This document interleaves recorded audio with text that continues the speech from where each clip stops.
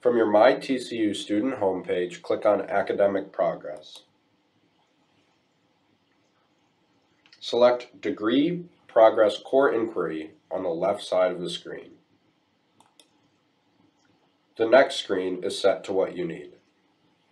Select View Degree Progress PDF.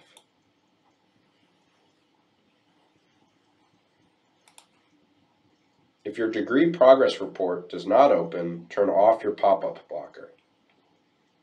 Make sure to print out a copy for all of your advising appointments.